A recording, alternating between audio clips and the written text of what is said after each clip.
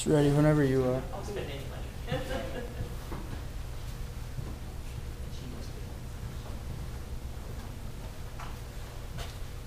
Go for it, Noah. Alright, good morning, everybody.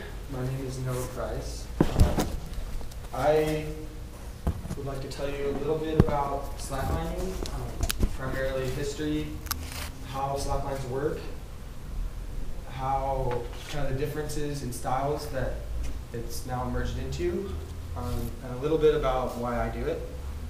I started slacklining in last year in the springtime at my high school, which I quickly got kicked out of, for, or not out of the high school, but off the school grounds for slacklining. I then took it to my backyard where I did it pretty much every day for an hour uh, after school. After I got my confidence up, I started taking it to parks uh, where I really enjoyed meeting people that like to slackline as well as showing people that have never done it before a little bit about it, how to do it. Um, also showing little kids. Um, and so now I'm here, kind of telling you guys um, about why I love the sport. It began in Yosemite Valley with rock climbers.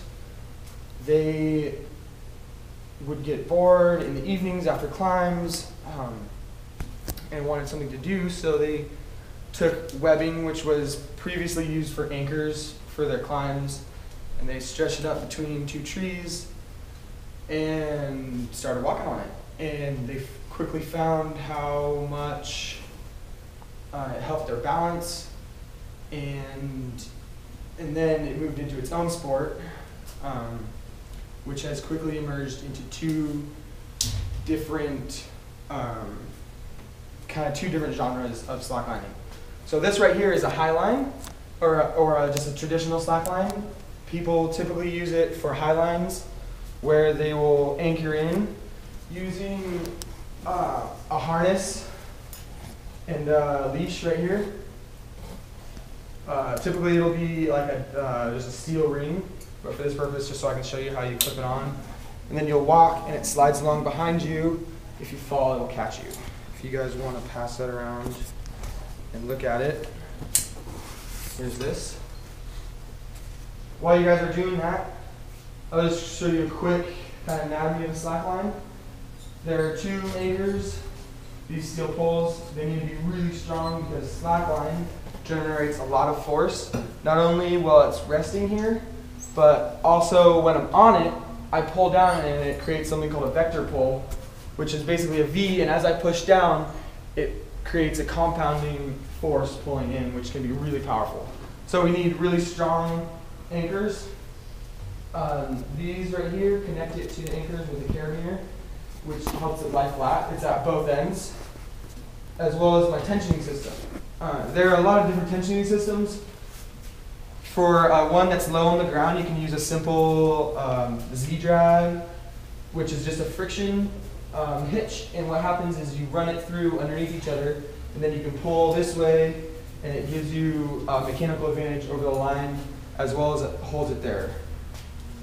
Um, so from this, that generated a new, a new style, which was the wider line, which I'll show you. I'll quickly take this down. At this end, I have um, a quick release which I can pull out and drop down. That's really important because when there's that much force on the line, there can it can be really tough to get this out. So it's important to have like a quick release that you can really put a lot of force on down there, and that'll help you take it out. This line, which is more of the freestyle, the second um, kind of production of slacklining is, as you can see, a lot thicker. So it would be more similar to, this would be like walking, like you saw how much it moved around underneath my feet. This would be more like, what it feels like is like tipping a 2x4 up on its end and walking on it. It doesn't move a lot and you have to really balance yourself on top of the line instead of putting the line underneath you. People use this for freestyle tricks. Um, there's a lot more pop in it, So you can really get force and get up in the air. Here you can't really because you have the ceiling.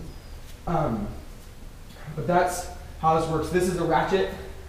Um, it's pretty much just the same as any construction or industrial ratchet strap, um, except slackliners have quickly taken it, put their name on it, um, and now string it up between uh, things and walk on it. So that's the style. And now I'd really like to get into why I'm talking to you, and it's why I love doing this sport, and it's the focus. Um, as you can see, it, it really, you have to focus a lot, and you see that in the two different styles of highliners and uh, freestyle liners. Even though they're doing really different motions, there's the the freestylers they're up in the air all the time.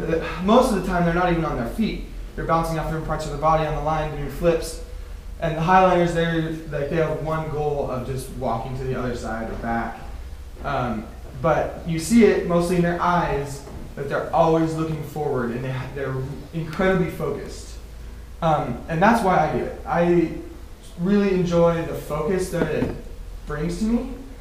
Um, and it like the, the goal for me is to be able to rule out everything else that's going on in my life or whatever um, and be, practice focusing on one thing earlier i was talking to you guys while i was on the line that was really difficult because i had to not only have really good focus but also be able to talk to you guys and that comes with skill um, the skill i believe it's a skill to be able to focus um, to not only focus on one thing and quickly go back and forth. To be able to be doing one thing and then be like, oh, I need, really need to focus on this activity. Um, maybe it's for safety, maybe for us, since we're um, in the outdoors a lot, being outdoor leaders, um, we'll be having fun, joking around the campfire, and then um, something might happen, someone might get hurt, and you have to quickly just snap into like mode, and you need to focus on what is at hand, or you're you're having fun on the river and you're going down just a nice floaty stretch and then you get into a rapid and you need to focus, right? No more joking around. Um, so I think this not only not only does it um, help with your like physical ability, your physical skill of balance, and your mu- legs and your muscle, your muscles and your legs and things like that, but it trains your mind mostly um, in how to control your focus.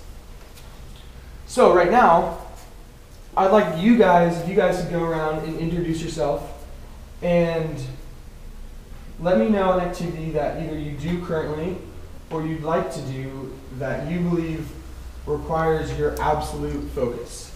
That when you're doing that activity, you don't think about anything else. Um, you're not, your mind's not wandering off. But just like me, for me, I like when I'm slacklining, it's really hard for me to think about anything else. Like I'll be focusing on just the slackline, whether I'm trying to do a trick, I'm trying to walk to the other side, that's what I focus on. So if you guys wouldn't mind going around, just really quick, like 10 seconds, uh, your name. Some, some uh, TJ.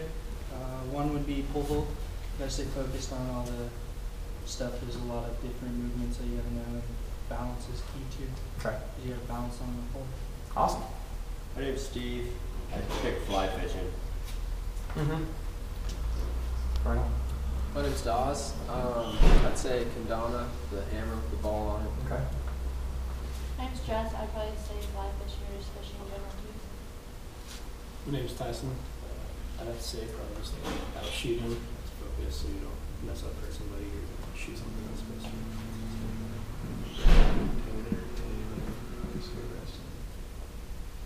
Joey and taking math. Um, I'm Lauren, and I would say running. Yeah, and teaching action Justin and James on card. Jesse, and I would say reading. Danica and something. Um, so we just all heard many different things that re- can require your complete focus. Today I just like to show you a little bit about the slackline, but a lot about how slacklining is not the only thing that requires your focus, but just a tool that maybe you guys would like to try someday um, to not only help your physical abilities, but also to train your mind to be stronger um, and to be able to focus when needed. So thank you guys much.